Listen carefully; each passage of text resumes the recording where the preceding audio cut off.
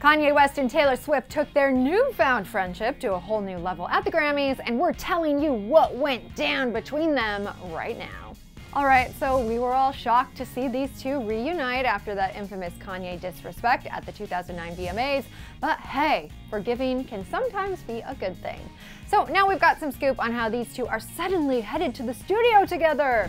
Kanye chatted on air with Ryan Seacrest, saying that Taylor said she wants to work together with him, and he confirmed that it will indeed definitely happen.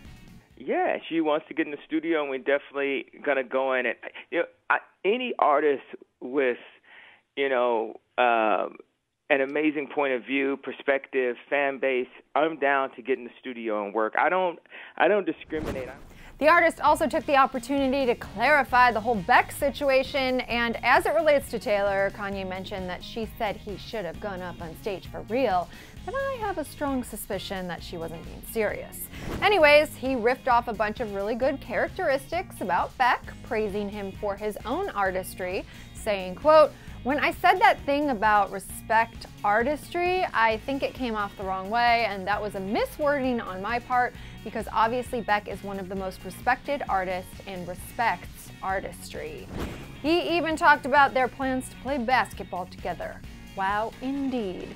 Now, I wonder if it will take five and a half years for this to happen, because that's how long it took for Taylor and Kanye to reunite at the Grammys. And that was over a VMA, not even over a Grammy win. All right, guys, so I really hope that I'm done reporting on this drama, and I'm actually very interested in hearing what Kanye and Taylor work on together in the studio.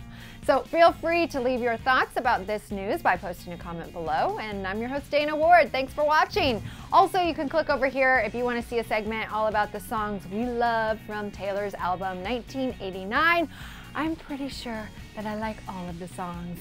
Anywho, see you guys soon on Clevver Music. And for your exciting dose of drama for the day, click to the left to check out the celebs who have dissed Taylor Swift. What? And click over to the right to see which celebs have dissed Ariana Grande. What? What?